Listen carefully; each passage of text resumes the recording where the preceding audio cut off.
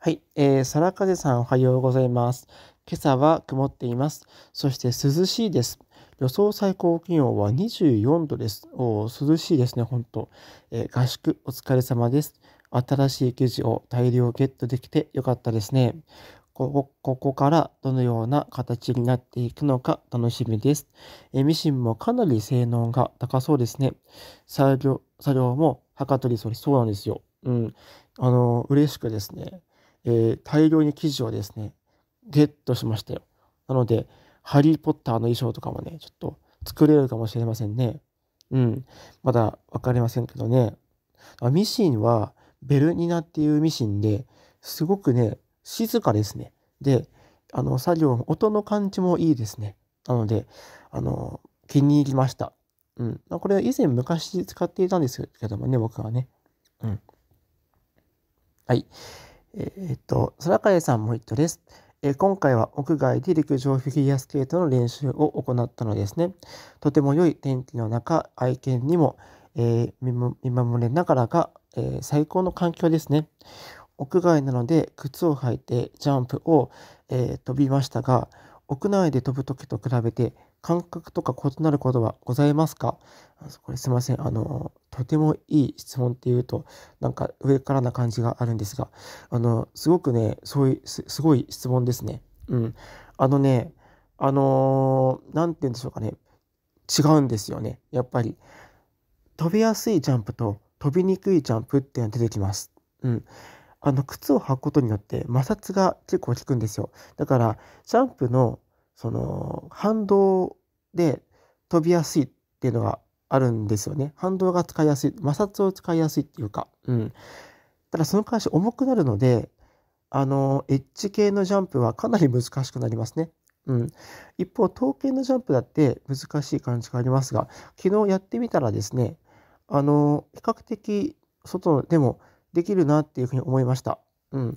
ただ、しっかりと、こう、回転やっぱりちょっと回りにくいところも多いですけど、あの、意外とできたかなっていう感じはありましたね。うん。だから、ま、回転とか足りないとこいっぱいありますけど、まあ、ループジャンプなんかも結構ハマっていたし、ルッツなんかも、まあ、インサイド傾いてますけど、まずまずだったので、あ結構靴履きながらもできるなって思いましたね。うん。もちろん、あの、床の状態とかにもよるんですけどもね。うん。でも感覚はね、何て言うのかな、靴下の時は靴下にもよりますけど、あの、やっぱりこう、滑る感じを利用できるんですよね。うん。なので、あの、いわゆるこう、プレローテーション気味になりや、なっても行きやすい。飛びやすかったりする。うん。だけど、あの、屋外では、プレロテがほぼ使えない状態ですので、まあ、結構、何て言うのかな。うん。まあ、しっかり飛ばなきゃいけないっていう感じになってくるのかなっては思いますけど、面白いですね。うん。そういう感じです。ただ、あのー、意外とね、できてですね、あ、できるんだって思いましたね。うん。えー、ティッシュバラバラ事件発生で大変でしたね。でもなんだか憎めない愛らしさもありますね。えー、ストイックに練習しているんで、邪魔だけはしないであげてと言いたいところです。そうなんですよ。うん。逆にこの練習時間とかを、なんだっけな、えー、見てですね、あ、今練習してるっていう思って今がチャンスっていうね、うん、悪悪知恵は働きますやっぱね。はい。えー、夏美さんおはようございます。こんにちは、えー、すごい、えー、ミシン上手。いろんな生地をこれは三ついなんていうのあのほほぬいはぬいってんですね。うん。ハヌイ衣装を作れるなんてめったにいません。おなるほど。江戸時代、贅沢を禁じられていて、おしゃれな着物を作れなかった時に、はぎれを、これはくっついてっていうか、え作った、えー、そうですね、ハヌイ衣装1枚、1枚も、1枚のやつよりも逆におしゃれに見えます。うん。で、この、えっと、ハヌイ、ハヌイの着物を着て踊る盆踊りもあります。おおなるほど。これはハヌイ盆踊りってかっていうんですかね。うん。盆踊り僕結構好きでしたよ。えー、いろいいただいたエンティークの生地も素敵。いろんなデザインで作れそうですね。そうなんですよね。うん。だから衣装を見て、どの音楽を滑ろうかなって逆に逆算してできるところがね、面白いですね。うん。これの魅力に、見どころになってくると思いますよ。盆踊り僕好きですね。あの、昔、花笠を、ま、花笠温度とか、東京温度とかね。うん。えー、あとは、桜温度とかね。桜温度ってすごい好きでしたね。明るくて。一番好きだったなと思いますね。うん。あとね、盛岡、盛岡なんとか祭りってなんかちょっとよくあのメロディーが難しいのあるんですね。盛岡天差なんとかあったかな。うん。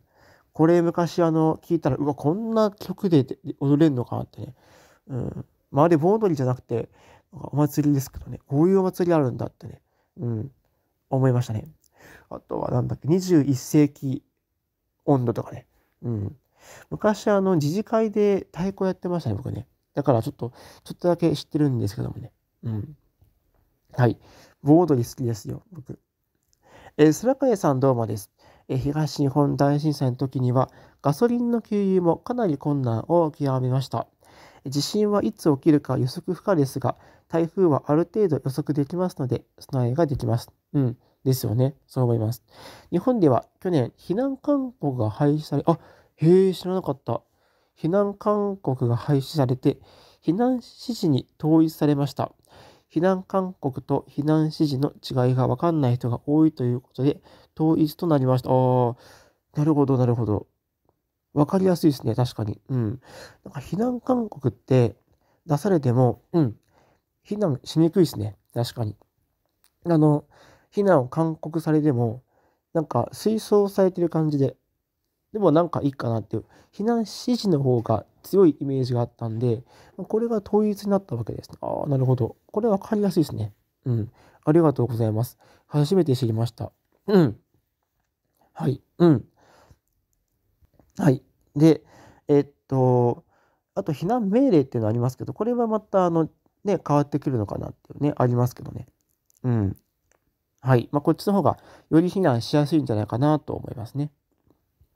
うん。はい。えー、そして、宮さんどうもです。えー、株掛けカレンダー、株さんの、えー、課金の動画に今からコメントして、えー、バタバタ忙しくなかなかっていうね。あ、宇野くんについて後でちょっとまたまとめていこうかなと思いますよ。ありがとうございます。うん。えー、空海さんもう一丁です。えー、私も株さんと同じく、えスポーツは水泳や、えスケートなど、え個人競技向きですね。水泳は6年習って少しずつ自分のペースでゆっくり、えー、かつじっくりと長期的に取り組みました。うん。早く泳ぐことはできませんが、一応全部泳げるようになりました。うん。あの、何泳げますかね？僕も昔は習っていたんですけど、クロールと平泳ぎはできますけど、背泳ぎはね、昔得意だったのに、ちょっとできなくなってますね。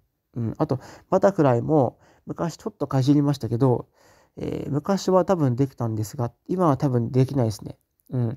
結構忘れてしまってます。一方、サッカーは集団競技で、周りの習得状況から、えー、大幅に遅れると厳しい目が注がれることがあり、運動神経の悪い私にとって体育の授業は地獄の底のような苦しみがありました。え日本のスポーツ教育は運動神経の悪い人からするとまるで吊るし上げに毎回あっているかのようなようなのでスポーツ教育のあり方など根本的に見直しをするべきだと思います。そうですね。うん。その通りだと思いますよ。なかなか難しいですけど、あのー、そうですね。まあ、強制とかされたりとかされるのはやっぱり大変なんで、うん。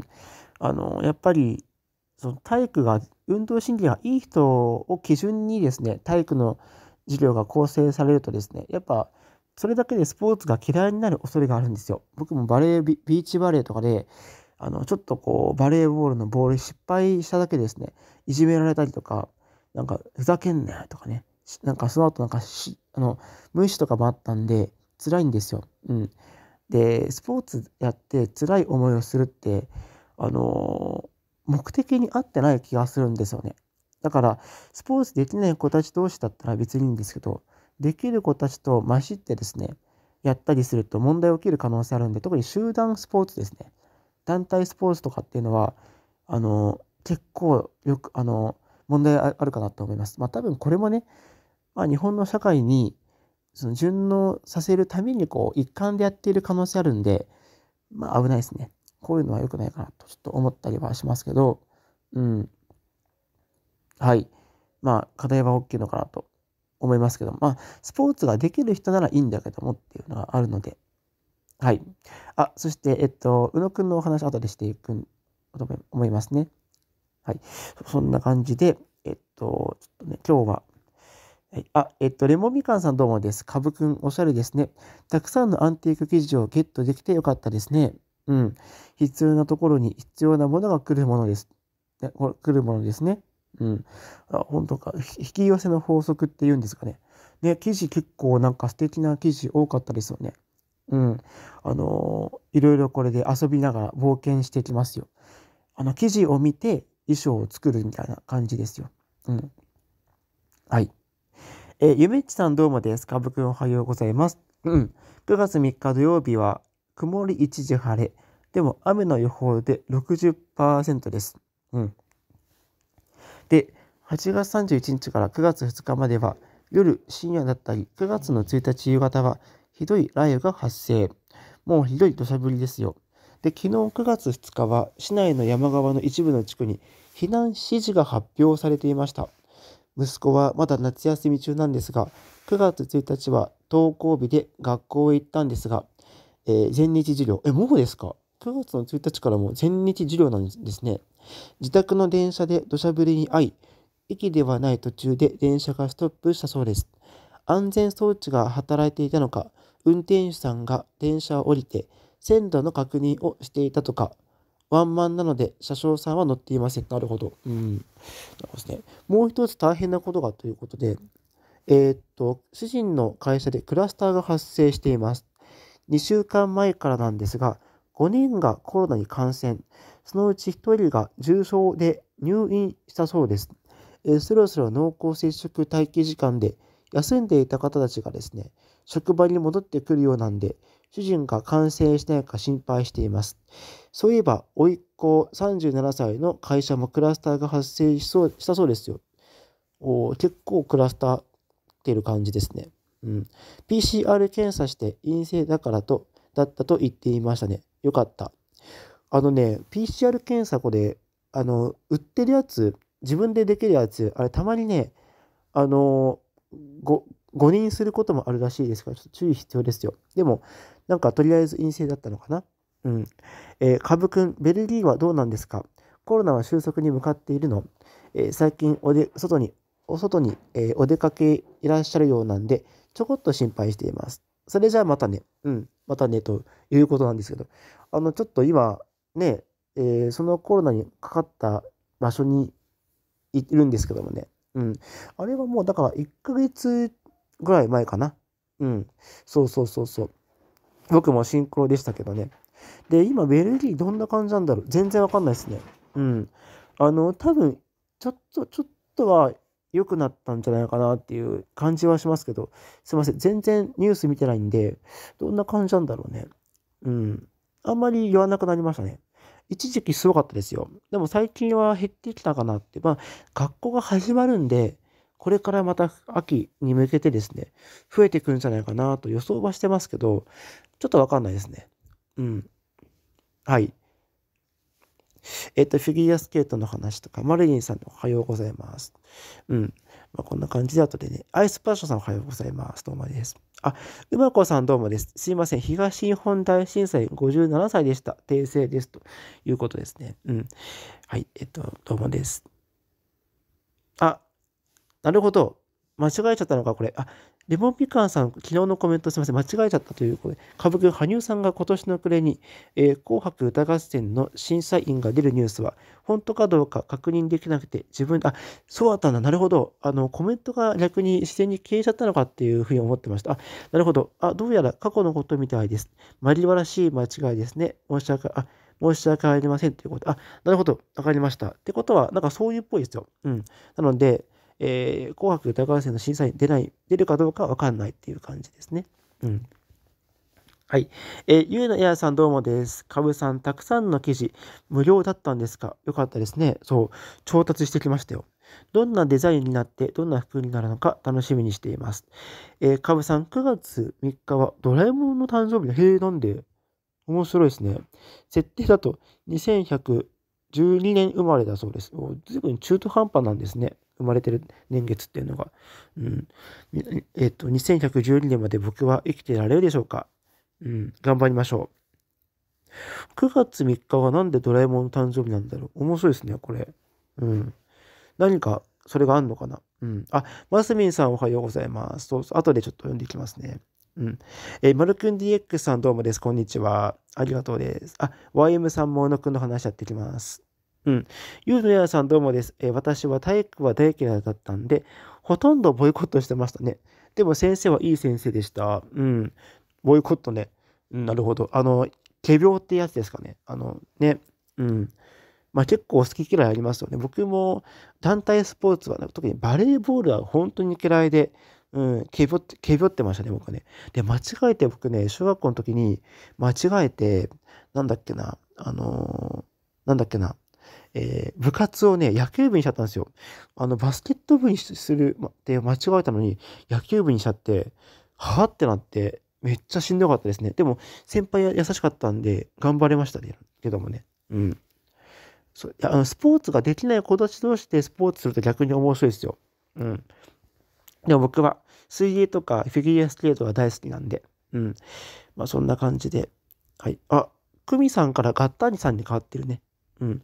そうそうそう。これちょっとさっきこれいろいろあってびっくりしちゃったけど。あ、ちょっとこれはでもグッドマークかな。うん。はい。そうそう。あ、木更木24さんおはようございます。後で宇野くんの話やっていきます。課金の話ね。うん。えー、松井邦子さんどうもです。うん。えっと、かぶさんこんにちは。えー、ワンちゃんたちおとなしいですね。いやいやいやいやいや、おとなしくないですよ。これね、カメラの前だからね、結構おとなしぶってるだけなんですよね。大変ですよ。ほっといたらもう大変。うん。まやちゃんは品種はゴールデンレトリバーかし、あ、そうですよ。うん。ゴールデン、ゴールデンレトリバーですね。えー、3歳かな。うん。賢い良い顔をしていますね。そして優しい。ゴールデンは頭いい私。小型よりも大型の方が好きです。うん。大型ってやっぱりかっこいい、かわいいですよね。昔、ラブラドールも飼ってましたけど、なんか最近、1、2年、1、2年前に亡くなっちゃいましたけどね。うん。中型は飼っていたせいか、小型は抱っこしなければならないし、えー、トイプー、トイ小柄を、えー、抱いていたことはないから、大型は散歩に行きたいです。うん。時間がね、あればね、大型系いいんですけどもね、私の好きな品種はボクサー、えー、耳がピンと立っている。小学生の時、公園でボクサーがいましたが、耳が垂れてました。あボクサーって聞いたことあるんですけど、ちょっと今思い出せないですね。うん。6年ぐらい本屋でボクサーがいました。網がなくて、じっと、あ、綱か、綱がなくて、じっと飼い主さんの見えるガラス越しでおとなしく、そのボクサーは耳が立っていました。飼い主が来て、綱がない状態で走り去っていきました。そんな姿になんてかっこいいと痺れました。おすごいなんか、あの、従順、ちゃんと飼い主の言うこと聞いてますね。うん。あ、でも、うちのこの子はちょっと、あれですね。そういう感じじゃないかな。うん。でもね、内弁慶なんですよね。だから、外に出ると急にちっこくなる。綱がないと、なんか、すごいこう、いい子になるんですよね。で、綱をつけると調子に乗るんですよね。うん。これありますかね？他のワンちゃんでも。うん。わかりませんけどね。はい。あ、そして、えー、っと、マイク・ワーキャーさんどうもです。えー、っと、コメント入りましたね。うん。えー、かぶくん、こんにちは。今日は愛知はなぜか晴天、暑いです。気象予報の方はまだ気象衛星や過去の事件もあり、ある程度は予報可能ですが、地震はいけませんね。うん。そうそう。地震はでも難しいですよね。難しいっていうか、無理だ、無理っていうかね、あの、南海トラフはなんか予想できるっぽいんですけど、それもなんかちょっとよくわかんないですね。うん。我が家では、風呂の、えー、残りを残しておいて、次の日にお風呂を炊くときに抜くようにしています。あなるほど。えー、お風呂の残り水がトイレの水に使えるからです。ああ、結構豆ですね。うん。えっと、なるほど。飲料水は3週間分あります。南海トラフ地震の際は、最悪の場合の死者想定が32万人、えー、経済損失が214兆円。兆円ってすごいですね。これ、あのー、すごい桁が違いますね。国家予算の2年分で発展途上国に転落する恐れもあります。え、津波は高知県で最大波高が34メートル。もうどんだけだよっていうね。感じですね。大阪、名古屋でも5メートルで、大阪駅、えー、名古屋駅までは浸水する想定です。うん。大阪ってことは、あ、でもそっか。あの、四国、四国とあの秋入ってくのか。うん。えー、震源地に近いところでは早くも2、3分後、2、3分後って東北市大震災でも15分ぐらいかかりましたけど、5分、3分とかって早いですね、本当うん。もう地震が来ながらも余震がある状態で津波が来る感じですね、だったとすると。えー、地震臨時情報、臨時情報予告というシステムがあり、地震発生の危険性があるある場合には、えー、津波想定地域のあの想定域内想定区域の人には避難を呼びかけるようになっています。で、これは1週間の避難をめどにしています。おってことは1週間前から結構分かってくるっぽいですね。うん、特に噴護水道っていうのは筑後水道が筑後水道四国と九州の間ではマグニチュード6.8以上の地震が発生した場合に気象庁にて関係者が招集され、えっと、臨時情報の可否を判断することになっています。なるほどですね。というのは、えー、筑後水道か、合ってますか？読み方。筑後水道かな。うん。えー、は南海トラフの西の端にあり、ここでの、えー、地震が南海トラフ地震の引き金になるからそれ。ああ、なるほどですね。うん。しばらく前にここでマグニチュード6.4の地震があった際は、この会議招集の一歩手前だったそうです。なるほど。でも大丈夫ですかね、本当うん。あ、6ね。南海トラフ地震は東海と南海、四国沖が同時発生する場合と、紀伊半島の潮岬を境に、えー、東西で時間差で発生する場合があります。ということは、特に和歌山県は2度被災する危険性があります。このような場合は、半割れといって、東海で地震が起こった場合、西日本の自衛隊は救済、救援に動かず、南海での時間差の地震に、えー、備えて、あの東海地方への救護は中部関東以北からの絵のみとなります。したがって救援が来るまでに時間がかかることも考えられ少なくとも飲料水の備蓄は最低限必要です。うん、まあ京都とか、えっと、福井とかですねある程度地震の被害が少なかった地域からの、えー、あの、縁、縁、なんだろう、えー、そうですね、助けっていうのもありそうですけどもね。でも、やっぱり時間がかかるんですよね、やっぱね。うん。津波が来ますので、関西国際空港、神戸空港、中部国際空港は人工島の空港ですので、全面冠水し、使い物にならなくなります。東日本大震災の時、海岸近くにある仙台空港や航空自衛隊松島基地が冠水し、救援には役に立たなくなったのは記憶に新しいことです。また日本では国家や自治体が避難命避難命令という言葉を使うことはできません。ああ、避難命令ってないんですね。僕なんか避難命令って聞いたことあるんですが、あれは違うのか？なるほど。避難指示しか使えません。人権や自由を、えー、振り回す人が多いからです。なるほどですね。でも、茨城県のとある町では町、ま、町長が自分の責任で避難命令を出し、死者が最小限に食い止められたこともあります。うん。まあ、あのね、なんか、その土地によって、風土とか土地とか土地勘っていうのがあるので、自治体によっては、まあ、そうやって、もう、切迫してるときは、なんかその注意報、警報とかもちろんありますけど、それを待たずにこう命令とかね、出すことが大事ですね、やっぱりね。うん。あの、沖、あの、静岡県の熱海で起きた、まあ、あの、土砂災害っていうのも、まあ、あれも、まあ、人工的なものが堆積したものが原因だったっていうのはありますけど、ああいうのもやっぱりこう、地元の感じで、やっぱり危なかったら出した方がいいみたいなのもちょっと必要かなって思ってきますよね。うん。まあ、気象庁は対外的なことは分かっても、メソスケールっていうちっちゃいスケールはやっぱちっちゃい地域のところではね、なかなか難しかったりとか、例えばゲリラ豪雨とかね、うん、ちょっとなかなか難しかったりするときっていうのは、あのー、ね、やっぱり地元のやっぱりそう空気感って言いますかね、そういったもので、こう、これはやばいなってなったときに、そういった避難命令っていうのが出たりするっていうのは僕は悪くはないと思うんですけどもね。うん。はい。という感じですね。うん。なので、あ、またもう一丁ありますね。この、えっと、そうですね。えー、マイク・バキアさんから、この、この件、フィギュアスケートのセクハラの件ですね。うん。あの、かぶくん、こんにちは。フィギュアスケートでのセクハラ事件知ってます？あ、ありましたよね。いつだったかとかちょっとよくわかんないんですけど、結構有名な先生だったはずで、13歳から14歳の少女が被害に遭ったはずです。そうそうそう、ありましたよね。もう何年くらい前かな。もうな10年以上前だった気がしますね。確か。確か報道され、逮捕されましたね。うん。そうそうそう。結構有名で、フィギュア界がざわついてましたよね。うん。ところでベルギーには自信はありませんが、かなり昔、僕も不妊前ですが、ベルギーで地震があったことをご存知ですか？あったらしいですよ。あのね、言ってた、言ってた人いました。うん。北フランスに住んでる人も揺れたって言ってましたね。結構なんか、マグニチュード 5, 4か5だったのかな。うん、そうそうそう。日本でいう、確かアントワープの方です。日本で言うと、あの、震度4回だっただったそうですが、これくらい日本人は慣れっこですが、驚いた現地の老婦人が、恐怖のあまり心臓麻痺でお亡くなりになられたそうです。これで亡くなったら日本は死人だらけですね。確かに。初めて知りましたね、これ。うん。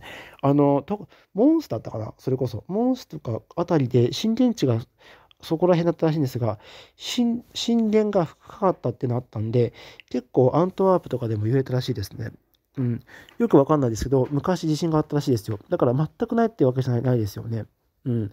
で、あの、家の作りもレンガ作りなんで、結構危ないですよ。だからね。うん。はい。まあ、そんな感じですね。はい。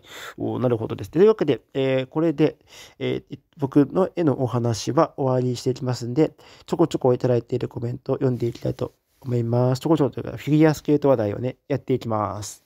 はい。